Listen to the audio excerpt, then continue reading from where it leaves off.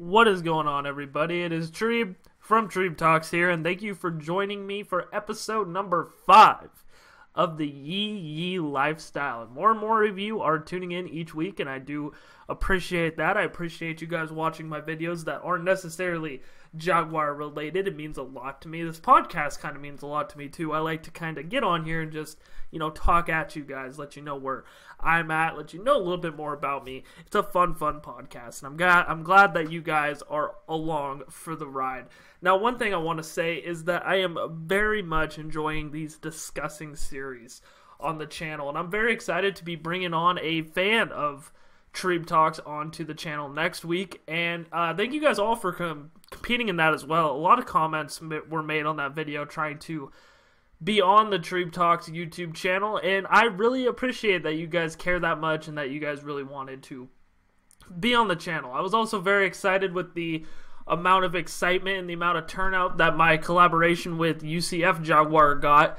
That was a it was a really big video, not for just us in general, but it was a big video for you guys because you know, I get compared to UCF Jaguar a lot, and a lot of people always ask, you know, are you guys ever going to be making a video? You know, it wasn't just recently. Like, it's been since I've been steady growing. Like, once I went from like 300 to 900, like, in between that gap, you know, I'd get a comment like every 8, 9 videos, like, hey, you and UCF should do a video. So it's a big deal for me to give you guys what you want, and I hope that that episode was everything that you wanted.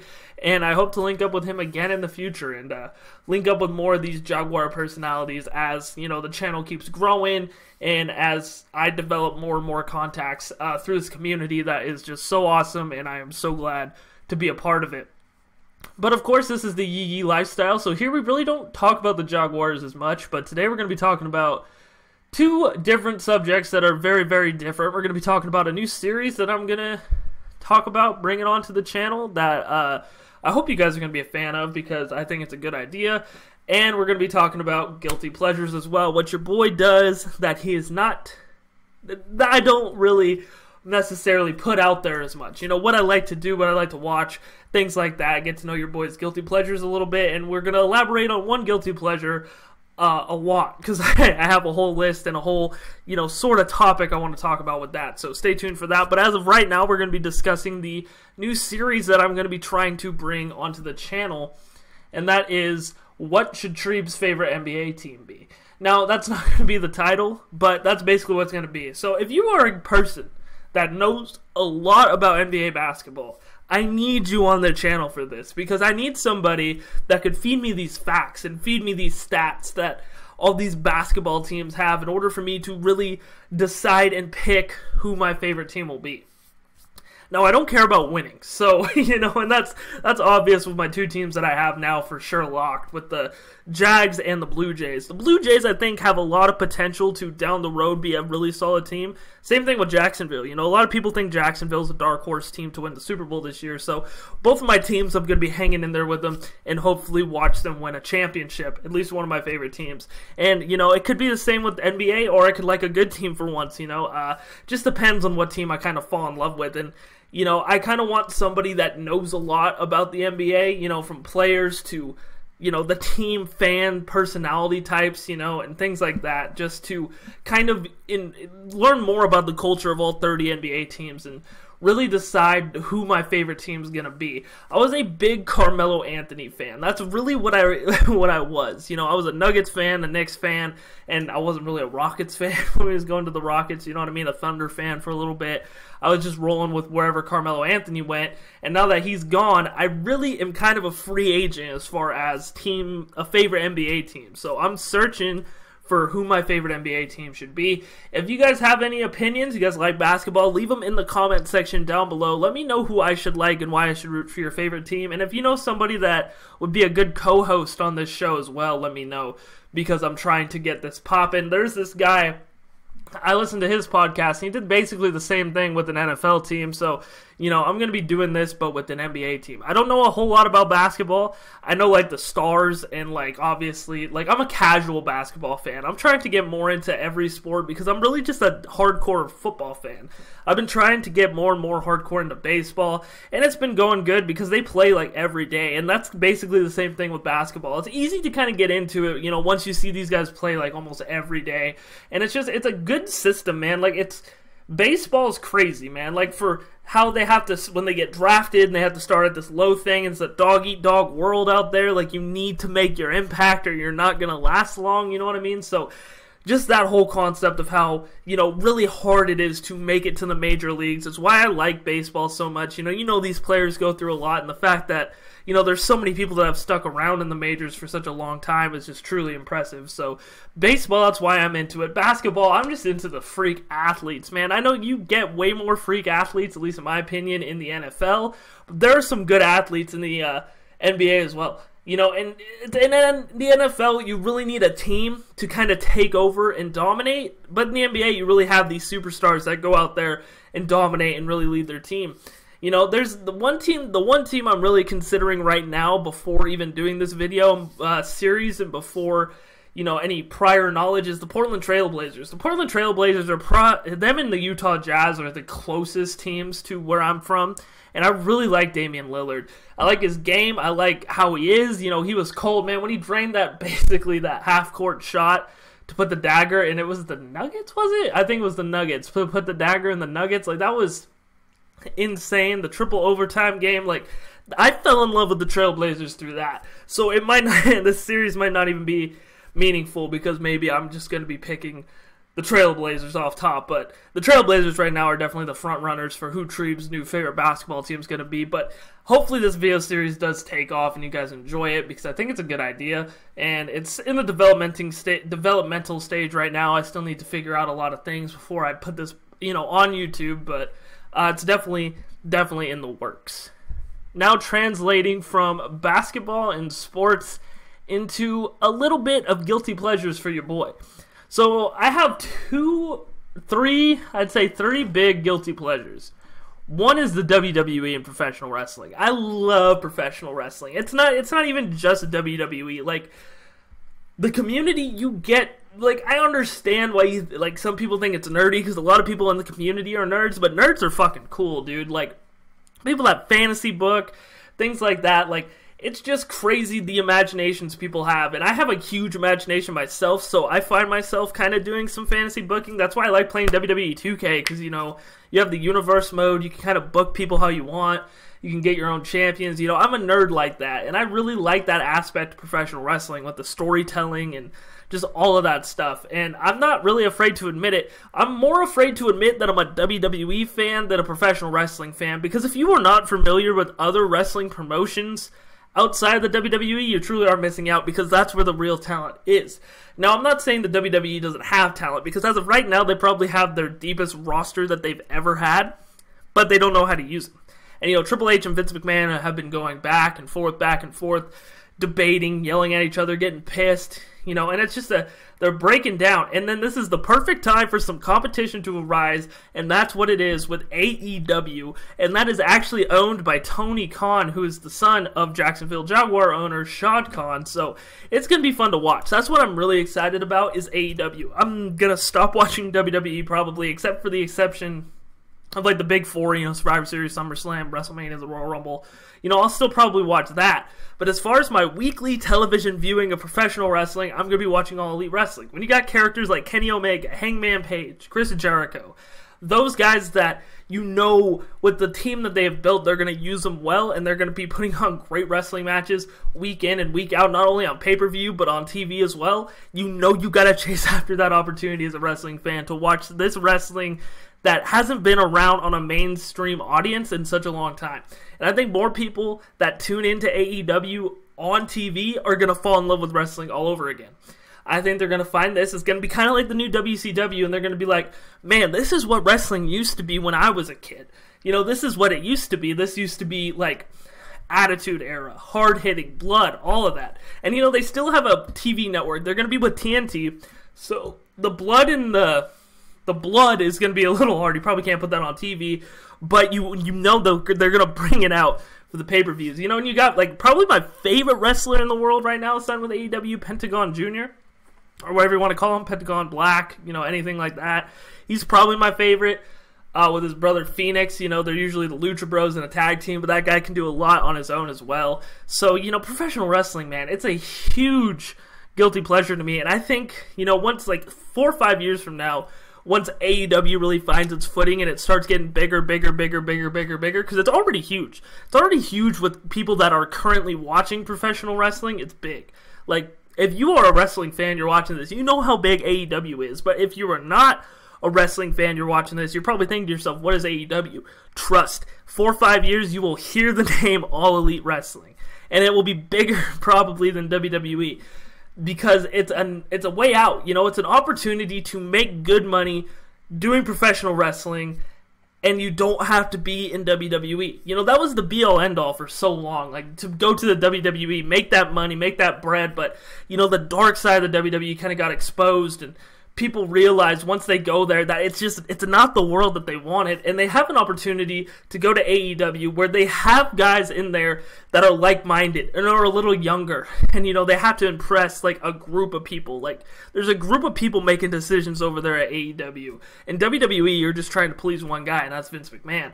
And you know Vinnie Mac is going to be putting a lot of effort into the XFL when it first comes out because he definitely does not want another AAF situation. So, you know, hopefully by then Triple H kind of takes more of the reins from WWE to kind of produce a better product. And that's going to be better because by then AEW will already have their TV deal, they'll already be on, and they're already kind of finding their footing, and that's the competition we as wrestling fans need to have. And it's going to be fun, fun TV to watch. I love professional wrestling. I will always love professional wrestling. It's a guilty pleasure, and I think in a couple of years it won't be considered a guilty pleasure. I think it'll be considered a global treasure again, and more and more people are going to be watching professional wrestling than ever before. Now, my other guilty pleasure is something that I'm not going to spend a lot of time talking about because I don't really have anything to rant or rave about. Is cheesy sitcom comedies, like anything on ABC or Fox or anything like that. NBC has a lot of good ones. You know, I will watch and I will enjoy. That's like a lot of things on Hulu that are on those channels I enjoy. Like Single Parents, man, I like that show. The Mick, you know, it was on Fox for a while. Brooklyn Nine Nine is fantastic. I mean, uh, AP Bio is something that I've been watching recently. Like, that is a great show. Like, all of these shows you expect won't be great because, you know, they're on TV channels. They're kind of cheesy, but you really watch them. You get invested into these characters, and, you know, the more and more you watch, the more and more you get excited to watch every single episode. And if you're like me and you watch it on Hulu or Netflix, you don't watch it week in and week out. Once you binge every episode that's on Hulu, you find yourself waiting every Thursday just to watch another episode. Like Brooklyn Nine Nine, man, I wait like. With a lot of other sitcoms that I watch, like Single Parents and AP Bio, I kind of let the episodes build up. I'll like wait for like three, four episodes to kind of build up before I watch it again. But Brooklyn Nine Nine, I wait every Thursday to watch that shit because I love that show. If you have not seen Brooklyn Nine Nine with Andy Samberg, Terry Crews, you know it's a loaded cast. You got to go watch it, and a lot of you know famous people make cameos on that show as well. It's a must watch in my opinion. But that's my other guilty pleasure is just kind of cheesy TV comedy sitcoms. So and my last and final guilty pleasure is reality TV shows. Like, I don't even give a single fuck. It's not really reality TV shows like Keeping Up with the Kardashians or like things on Bravo or anything like that. It's the competitive reality shows, like the not the real world, the challenge, Survivor, Big Brother. Like those are my three favorite TV shows and are really the only TV shows that I watch on TV. You know, this year's Survivor, I stopped watching because I wasn't a big fan of the twist. I wasn't a big fan of the cast. I just wasn't a big fan of the season overall. And that was the first time I've done that with the Survivor season in a long, long time. There's a couple of people that liked Ghost Island, but in my opinion, it was trash. I didn't like it. Didn't want to watch it. It was bad.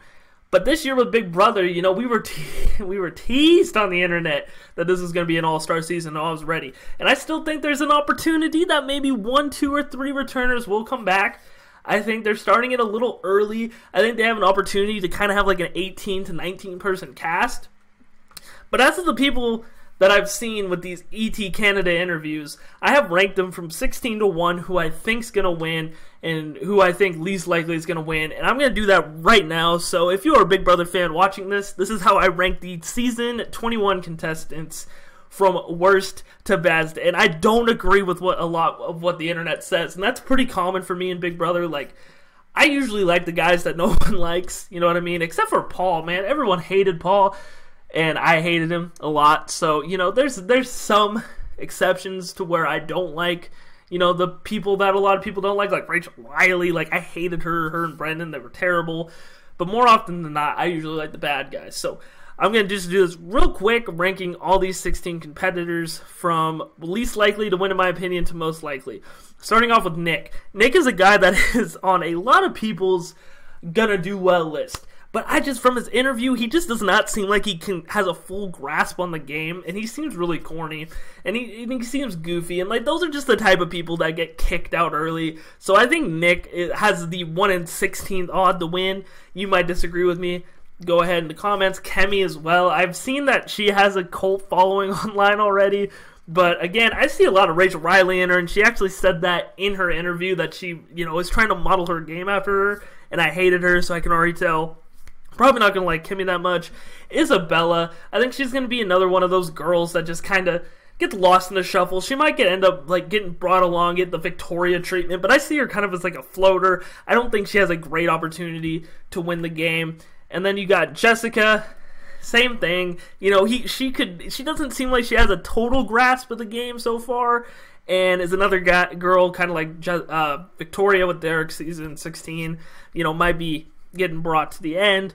Christie, same thing, man. Like, uh, like I feel like there's not a lot of girls in this season that have a ton of personality, and that's you know where it's wrong. Like I think Kemi has a ton of personality, at least from what I see. So hopefully, for good TV sakes, she sticks around for a while. But I still think she has the second worst odds to uh, win the game. Coming in at number eleven, I have Tommy. I mean, it's just, just like, you know, I'm, I'm, I have nothing against gay people. 100% nothing. I love gay people. I think gay people are some of the funniest people alive. Like, they're so funny and they're great people. You know, I love them. They're great people. But just, uh, Big Brother does not cast very good gay people. And this is another example of a not a good gay person cast. Like, you look at, like, Frankie. Frankie was awful. Like they're they haven't really had a solid, you know, good gay representation on the show since Andy, in my opinion, or Lawon. Lawon was a good one as well. Um, so, and I hope Tommy maybe during during the season can kind of flip that around. I thought JC was all right last year. I don't think it was terrible, but you know, there's just they just need to do a better job with that. I could see a lot of Tommy being, you know, kind of over the top and annoying, and there's nothing wrong with that. But you know, let's let's try to let's try to get a better representation of the LBT uh, community, at least in my opinion.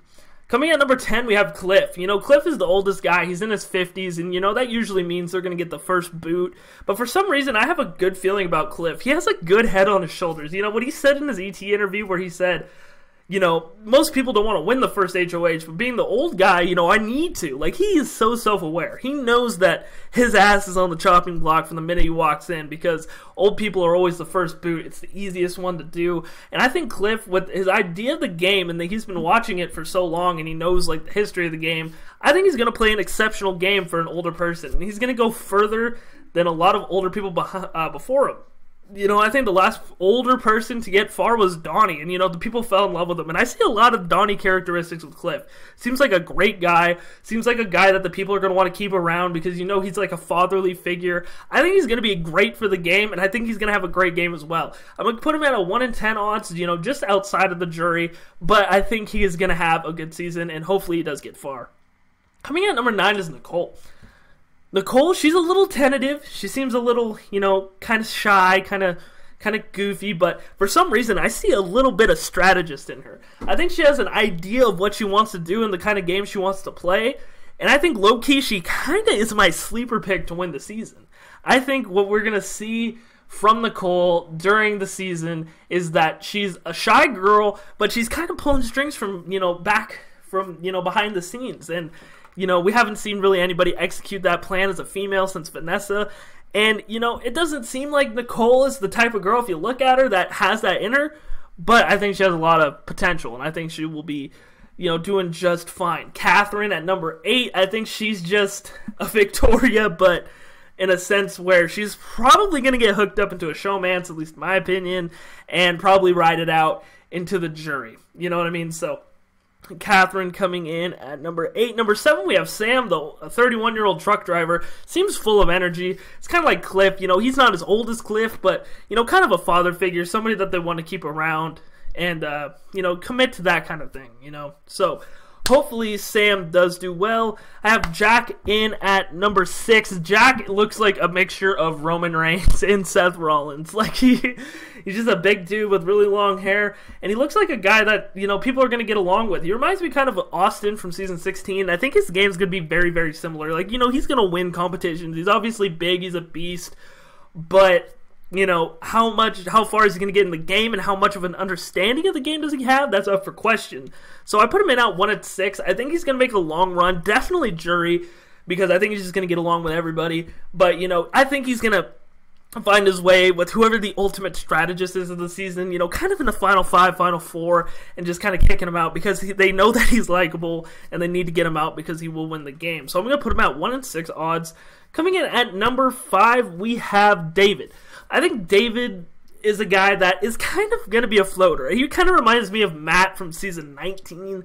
I think that he's going to, you know, he's going to win some comps, but he's going to be kind of in the background of everybody, you know. So I think he's going to get far. I do. I think that people are going to keep him around because they're going to be like, you know, this guy doesn't really understand what he's doing. Kind of like Jack, but not as a bigger physical threat. But I think David has decent odds to win this game. So I'm gonna put him in at one in one in five. Coming in at number four, I have Analyse. She looks like the girl in this game. Besides Nicole, I think that is coming in with the best strategy. I think she understands how to manipulate people and how to get her way, and that goes a long way in Big Brother. And I think she's going to have a one in four odds, the best, the second best, I should say, women odds in my opinion. Coming in at number three, we have Avi. Avi, I love him. I love him. I love him. I love him. I think the people in the house are going to love him, and they're, you know, they're kind of going to look at him like he's not a strategic threat. And the smartest thing for his game that he can do is kind of get behind these you know, bigger guys, you know, using them as like meat shield. You know, guys like Jack, guys like David. And, you know, Avi might be the guy to make the move to get him out because, you know, they're so damn likable and he won't beat him in the end. You know, if he gets an alliance with those type of people, I see him going very, very far. And I see him kind of controlling the game from behind the scenes. So I think Avi has the third best odds to win the game of Big Brother this season. Coming in at number two, this is going to be very, very unpopular because not a lot of people like her and I don't understand why. Holly. I think Holly just knows what she's doing. You know, she's one of the few female cast members that play the game, that have watched the game. And I think she's coming off like a little bit like a bitch. Like she has kind of a resting bitch face, but I think that's just going to go to her advantage. I think she understands again how to manipulate and use people, and I think that's going to go a very long way. I also think she might get into a showmance, but you know, hopefully the showman she gets into doesn't blind her too much. You know, it usually blinds people, but We'll see what it does for Holly. And coming at number one in my pick to win the season, or at least has the best odds, is going to be Jackson. I think Jackson kind of has a mixture of Cody in him with a better personality. Like he's not afraid to smile. He'll smile, kind of just go with the flow for a little bit. But he looks like he has the best chance at being a good comp beast and being a good strategic threat as well. I think Jackson wins season uh, 21 of Big Brother, or at least has the best odds. And I realize it, this podcast is now 23 minutes in, and I'm going to be wrapping things up here, ladies and gentlemen. So, if you guys haven't already, you can go ahead and check the links down below. You can like me on Facebook at Treeb Talks, follow me on Twitter at Treeb Talks, follow me on Instagram at Trey Vaughn Pixley. Also, if you haven't yet, make sure you hit that subscribe button, click the bell icon to get notified every single time I drop a new video. I drop new content on this channel six days a week. Ain't nobody out working me. You know the rest. Make sure you guys have a great rest of your day.